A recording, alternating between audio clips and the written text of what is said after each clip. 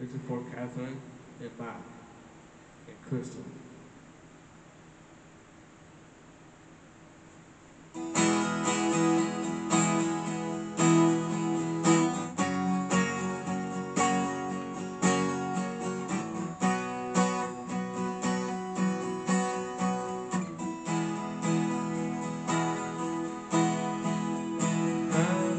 Ready? He got